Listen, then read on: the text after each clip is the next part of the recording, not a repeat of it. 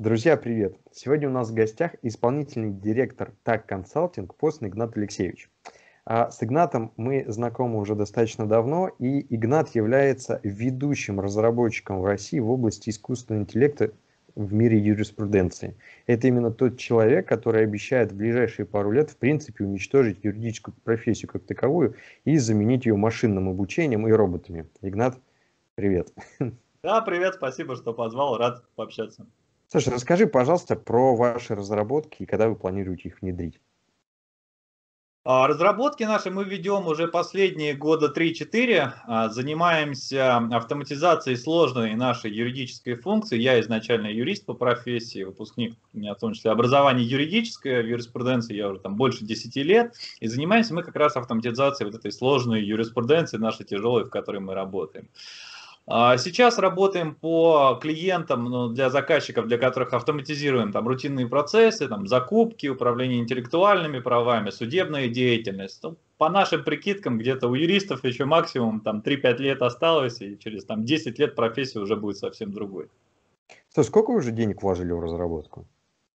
А своих где-то 2-3 миллиона долларов. Это такой наш внутренний стартап, да. Ну, Слушай, я про ценники, я не знал про ценники, сколько вы денег вложили. Михаил, а кто ваш основной конкурент? Я так понимаю, что в любом случае вы не единственный на этом рынке.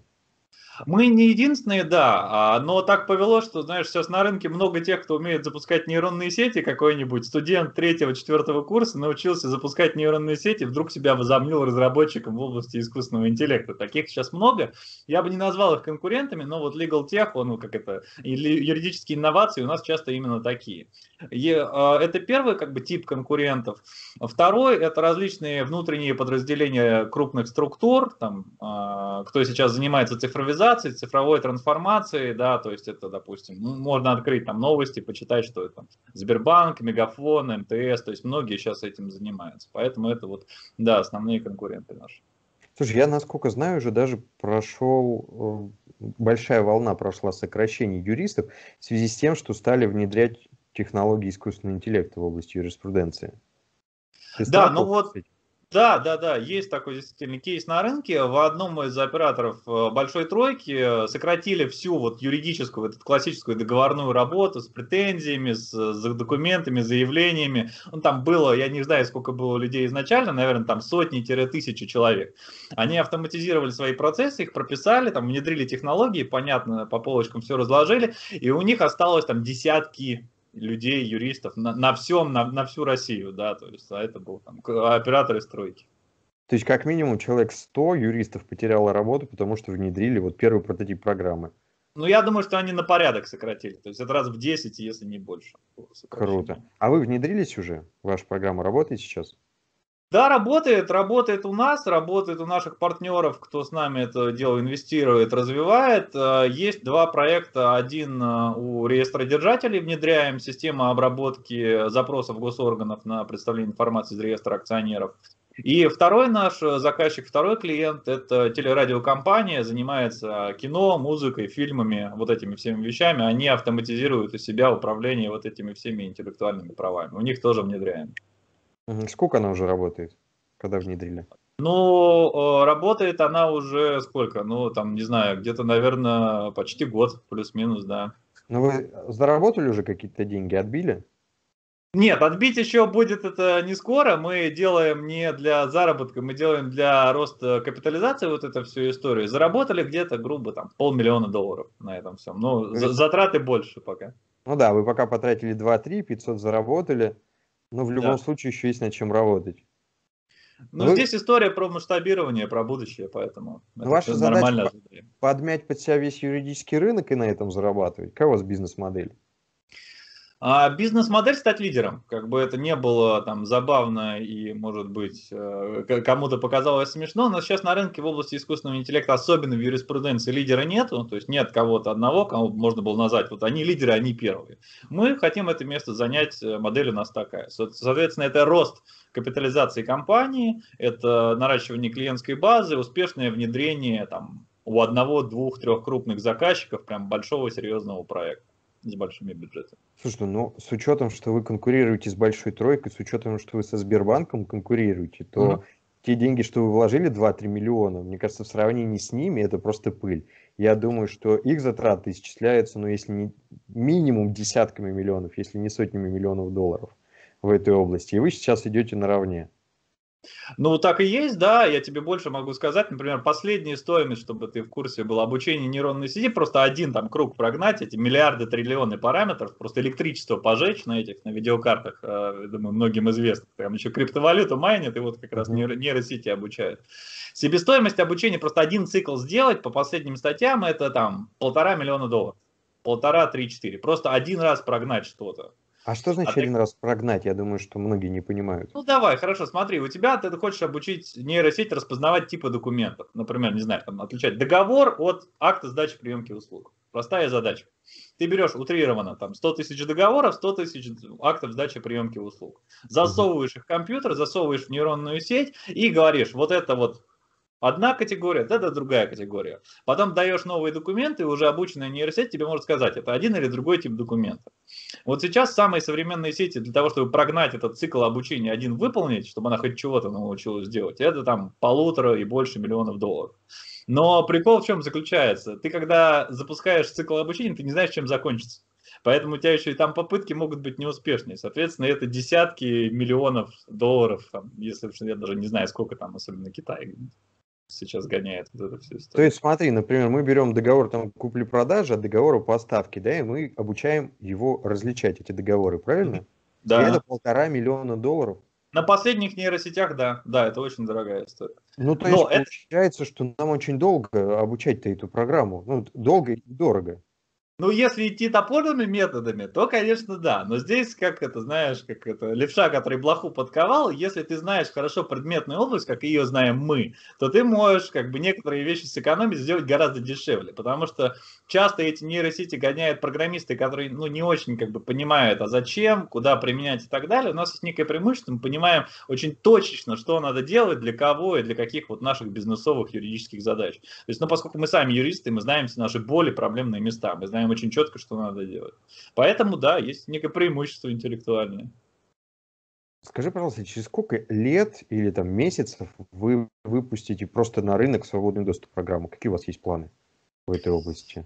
А, хороший вопрос, а, очень хороший вопрос. Я думаю, что законченный продукт, который, скажем так, робот-юрист, да, которого можно там условно себе скачать на компьютер, поставить и поставить задачу написать исковое заявление, например. Я думаю, что до этого там 3-5 лет осталось, а, после чего, да, ну, если как бы все будет в планах складываться как, как как идет, то да, это где-то через это время будет. То есть, если я в 2021 году поступлю на первый курс юрфака, то к 2025 году я выпущусь безработным. Абсолютно. Ну, не, не с этим как бы ничего не сделать. И так сейчас э, объективно выпуск количества юристов это безумные цифры. Я уж не знаю, сколько их там в год выпускается, но рынку точно столько не нужно. По нашим, ну вот самым скромным подсчетам мы считали, например, для там, а, одной судебной отрасли, сколько потенциально мы можем, могли бы высвободить человеческих ресурсов, ну, перераспределить на другие задачи. Да? То есть мы не говорим про сокращение, мы говорим о том, чтобы ну, перераспределить. Перераспределить, перераспределить да, перер... Макдональдс, Бургер Кинг, вот их Нет, нет, нет, да? смотри, еще раз, как бы проверка вот этих всех реквизитов, которые никому не нужна, которые рутинный труд. У нас есть, условно, помощники судей, которые занимаются не самой высокоинтеллектуальной а, работой. Мы угу. говорим о том, чтобы эти ресурсы направить на что-то более более интеллектуальное, более э, там, важное, нужное, там, внимательно почитать материалы дела, условно. Uh-huh. А по нашим скромным, скромным подсчетам это 40% э, вот, численного состава там, в одной взятой, взят, взятой федеральной структуре. Но это, как бы, я думаю, что плюс-минус можно экстраполировать на все организации. А сколько это в тысячах человек, 40%? Это миллионы. Это миллионы людей. Смотри, я просто так понимаю, что под перераспределить ресурсы ты очень так благовидно сказал, что людям придется просто тупо менять профессию и переобучаться на что-то новое. Но если он раньше сидел и читал исковые заявления, что он начнет новое делать, мы за него это прочитаем, да? Он пойдет ну туда, где не пришел искусственный интеллект есть некое, есть некое место для оптимизма на самом деле. Она заключается в том, что когда ты внедряешь вот эти цифровизированные процессы, у тебя есть рост потребности в людях высокой квалификации, потому что тебе нужны люди, которые могут понять, как работает искусственный интеллект, и когда он ошибается, а такое бывает, нужно прийти и понять, в чем проблема. То есть таких людей нужно больше. Это с одной стороны. А нотка пессимизма, как бы бочка не только у нас с медом здесь, заключается в том, что вот эта цифровизация, это мы занимаемся юриспруденцией. Но мы прекрасно знаем, что кто-то то же самое делает для бухгалтерии, для финансов, для маркетинга, для еще чего-то остального, поэтому здесь вопрос перераспределяться куда. Но здесь мне что-то сложно рекомендовать. На рынке а будет. есть какие-то ограничения у вашего искусственного интеллекта? Например, вот в эту область юриспруденции он никогда, например, не придет. Есть что-то такое? Вот именно внутри юриспруденции? Ну, ну да, ну сейчас исключительно это про ваш искусственный интеллект, я так понимаю, что он у вас только внутри юриспруденции. Вот какая-то область, где искусственного интеллекта не будет, но чересчур она сложная, да, там межличностные отношения, например, там семейное право, муж с женой ругаются, и он их никогда не помирит, ну, я образно. Есть ну, смотри, как бы я, я уточню, да, что э, ограничений пределов по тому, что там нельзя, например, в административном праве там, или в медицинском, или в каком-то еще, такого в принципе нет. Искусственному интеллекту ему по большому счету все равно, в какой как бы, области разбираться и в какой предметной э, задачке себя как бы чувствовать. Другой вопрос, что мы понимаем, что есть такие тонкие материи, как ты правильно сказал, там семейное право, уголовное право, да, то здесь вопрос усмотрения судьи, он безусловно важен. Поэтому мы говорим о том, что то, что мы делаем, да, это интеллект, да, он может какие-то суждения, рекомендации формулировать, но это в первую очередь и всегда рекомендации для судьи. То есть, чтобы судья там, не вычитывал эти сотни страниц материалов дела, а имел там идеального цифрового помощника. Он подсказал, смотри, вот здесь вот гарантированно в материалах дела вот это, вот это. И ты, уважаемый судья, принимай решение. Ну, вот такие вещи, да, то есть мы говорим о том, что есть некоторые тонкие материи, судейские смотрения, там, уголовное право, семейное, где без человека тяжело. Ну, то есть вы судьям тоже планируете помогать? Конечно, да. Ну, потому что рутина есть везде, то есть у всех отделы приемки, что исковых заявлений, что входящих обращений, что там, не знаю, писем и так далее. Это везде слабое место. Как раз мы на него нацелены, на автоматизацию проверки вот всего формальных оснований. Это наша любимая история. Угу. То есть вы сейчас про помощь судьям. Я так понимаю, что не самая сложная задача на первом этапе. Ну, как сказать, несложная. Понимаешь, э, у тебя, например, есть там проверка искового заявления на требования арбитражного процессуального кодекса, форма содержания искового заявления. У тебя там есть, например, проверка о том, что исковое заявление должно, должно быть подписано истцом или представителем.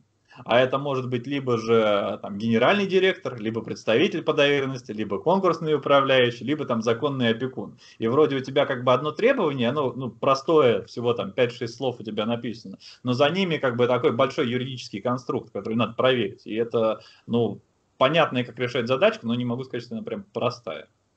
Я так понимаю, что если бы у нас было прецедентное право в чистом виде, оно у то... нас есть оно, оно, да, де-факто это у нас есть все равно, мы смотрим, но помнишь, консультант плюс, когда открываешь, там всегда практика в одну сторону и практика в другую сторону, принципиально.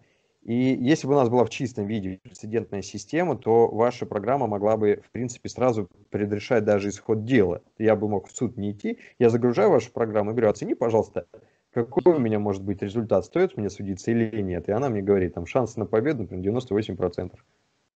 Ну, смотри, здесь, наверное, нужны как бы изменения немножко другого порядка, связанные в первую очередь с вопросом доверия, да, то есть насколько мы готовы доверять решениям такой системы. Я могу предположить, что, например, как вот с мировыми судьями, например, да, то есть люди могут договориться пойти в мировой там суд или в третейский суд и сказать, что мы доверяем решению там не государственного суда. Я вполне допускаю, что могут появляться структуры, которые гарантируют быстрое разрешение спора по существу. Ну, например, по, по аналогии с третейским судом. Пожалуйста. Третейский да? суд, да. Да, то есть как бы такой независимый и так далее. Либо, например, какие-то, допустим, категории дел, э, где и так никто, например, в заседании не является, да, то есть какие-нибудь э, по, по страховке, по машинам, там, сумма угу. иска до 100 тысяч рублей, и как бы можно такой фаст-трек упрощенный э, придумать. Но еще раз, это вопрос доверия, это вопрос того, насколько мы, как люди, как социум, как общество готовы такие решения принимать, насколько мы готовы быть с ними согласны. Здесь важный вопрос, на самом деле, уточню, то, что делаем мы, оно является объяснимым. Да, то есть всегда интеллект может тебе объяснить, почему он такое решение принял. А у многих это не так, как бы вот те, которые нейронные сети запускают, они говорят, у нас черный ящик, непонятно, что происходит, почему принял такое решение. Как бы. Мы знаем, что такие вещи летать не будут, нам, юристам, нужна объяснимость.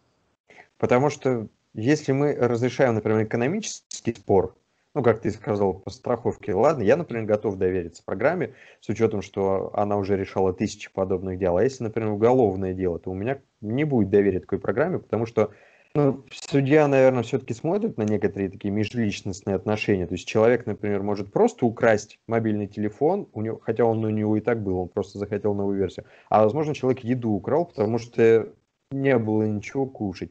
Или, например, убийство. Кто-то мог совершить убийство из каких-нибудь корыстных угу. побуждений, ну, да, а кто-то да, мог да. совершить да, убийство, он защищал, например, свою дочь от изнасилования какого-нибудь маньяка. Это принципиально два разных убийства. И доверяться здесь, конечно, программе я бы не стал. Ну смотри, мы на самом деле, когда э, есть такой забавный момент, мы когда автоматизируем вот эти все процессы, это как, знаешь, зеркало, которое перед нами становится. Мы на самом деле задаем себе эти вопросы, а как бы их человек разрешал. Просто такой искусственный интеллект это повод на эти темы поговорить. Но они же все равно у нас как-то разрешаются. Да, то есть судьи это есть конкретные люди, которые там живут в конкретное время и принимают очень понятные или там иногда не очень понятные судебные решения. А, это, мне кажется, повод как раз подумать, как, какой бы бы мы хотели, чтобы была судебная система. Где место интеллекта искусственного в ней, где не место человеку. Это как бы хороший дискуссионный вопрос, я думаю, что. Но и как бы неважно, где будут технологии, мы как там общество, и в том числе как юридическое сообщество, должны какую-то позицию сформировать, что мы, например, предел доверия такой-то системе, да, то есть, ну, например, вспомни, как, как внедрялись штрафы, например, да, то есть вот эти камеры там по машинам и так далее, то есть, в принципе, сейчас, например, со штрафами уже никто не спорит, которые снимались на камеру, там где-то еще и так далее, но я думаю, что первые пилотные проекты тоже происходили очень, как бы, э, тяжело, когда люди спорили, не доверяли и так далее, сейчас вот поменялось, всех устраивает все. Слушай, я задался вопросом, интересно, сколько людей во время промышленной революции потеряло работу и было вынуждено идти пере, переучиваться, потому что мы сейчас стоим точно на таком же пороге, ну, только mm-hmm. в, конкретно на вашем примере в области юриспруденции, что тысячи, десятки тысяч, если не сотни тысяч юристов будут вынуждены идти и переучиваться либо на новую профессию, либо какие-то на отрасли, которые еще искусственный интеллект не задел, чтобы в них mm-hmm. работать. А, я так понимаю, что снова понадобятся юристы, которые будут обслуживать вашу программу. То есть сейчас... Которые будут ее понимать, улучшать, да. да. Да, понимать, улучшать. А вы не взаимодействуете с какими-то университетами, например, посадочными, которые потом будут готовить специалистов, чтобы обслуживать вашу программу? Ну, хороший вопрос. С университетами пока мы взаимодействуем с ЭТМО, это Санкт-Петербургский университет, у нас с ними плотное взаимодействие, там, помогает нам решать задачки. Ну, опять не на правах рекламы, просто, как это сказать, так совпало, что читаю курсы, например, в статуте, школу права, допустим, для а, legal тех э, директора, а, людей, которые у себя, ну, как педалирует, продвигает вот эти инновации. То есть есть места, на самом деле, которые в МГУА, знаю, что сейчас программы будет делать, запускать по э, инновациям, как раз-таки как юридическим департаментом, как инхаусом себя вообще в этом самом деле структурировать. Это, безусловно, да. Я бы, знаешь, может быть, привел такой анекдотический пример, но я думаю, что зрителям, слушателям будет интересно. В начале 20 века, а, вот статистика в США, а, основной тяговой силой была лошадь да, то есть и была в среднем как бы у каждого из трех человек, ну, грубо у семьи, то есть в каждой семье есть лошадь, как сейчас автомобиль, плюс-минус. А по прошествии там технологического прогресса, как все там произошло, поменялось и так далее, соотношение а, после Второй мировой войны упало до там одна лошадь приходится на каждого где-то там 60-50 человек, сейчас там 1 к 30 соотношение. То есть из того, что как бы лошадь была в каждой семье, мы пришли к тому, что лошадь есть как бы там, у, у, у редко у кого на самом деле. Я думаю, что где-то будет такого же как бы серьезная трансформация, там условно, не знаю, геноцид профессии. Но в том плане, что она пере... я надеюсь, что она переродится что будет что-то новое и что-то другое, как было и с лошадями. Но есть перспективы не к самым радужным, конечно, исходам. Слушай, я задался вопросом, что есть же много людей достаточно религиозных, которые, скорее всего, в штыки, очень даже в штыки воспримут то, что вы делаете. И я понимаю, что скоро фильм «Матрица» станет для нас абсолютной реальностью, потому что искусственный интеллект, он зажимает нас со всех сторон, не только в мире юриспруденции. Я так думаю, что аналогичные разработки ведутся сотнями компаний по всему миру, конечно, каждой в своей области. Конечно, да. Да, и непонятно, к чему мы придем в кратчайшие сроки. Я человек не религиозный на самом деле, но могу немножечко как бы отрефлексировать на тему религии. А, здесь-то очень как бы интересный такой момент был, как раз история религии, да, когда Адам и Ева из рая были изгнаны, а, что, в принципе, Бог-то сказал а, Адаму, да, о том, что ты будешь трудиться до конца как бы своих дней и так далее. То есть ты будешь э, как бы, э, э, руки в крови и в мозолях у тебя будут. Здесь, конечно, такой интересный момент, что ну, если проецировать, как, как это можно там в плане логики определить, да, что участь человека – это постоянная работа и самореализация. Здесь очень глубокая философская есть проблема, действительно, это очень правильно подметил, связанная с тем, что вот технологии искусственного интеллекта вот эту основу личности человека любого, работу, труд, как бы самореализацию могут взять и просто вынести абсолютно.